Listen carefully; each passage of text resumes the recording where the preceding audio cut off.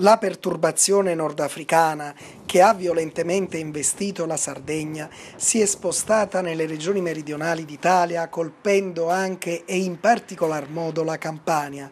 Diramata l'allerta meteo per il weekend con violenti nubifragi che hanno già investito la città di Napoli a partire dalla serata di venerdì. Colpita anche la zona di Salerno e i paesi limitrofi come Mercato San Severino, le perturbazioni diminuiranno nella giornata di domenica e lunedì il sole tornerà a fare capolino nel cielo.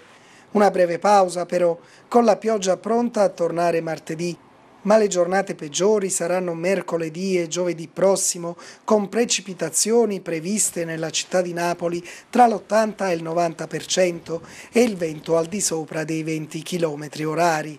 Le precipitazioni diminuiranno il weekend prossimo, che presenterà tempo instabile almeno sino a sabato 17 ottobre.